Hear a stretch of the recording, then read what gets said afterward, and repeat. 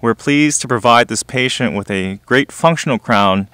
This patient presents with an endodontically treated tooth on number 19 that has been restored with a PFM. He requested a more natural restoration. So we are going to replace the PFM with a BruxZir crown. We begin the removal of the old PFM by carefully cutting through the entire restoration. Occlusal reduction of 1.5 to 2 millimeters is going to allow for adequate material thickness of the new restoration.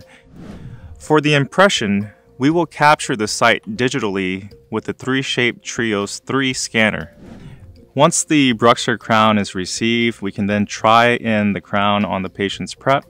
Uh, but then in this case, sending it digitally, there was a shortened turnaround time, so any adjustments that are necessary are usually very minimal to none. Here's the completed restoration. We were able to complete this crown by sending our digital impression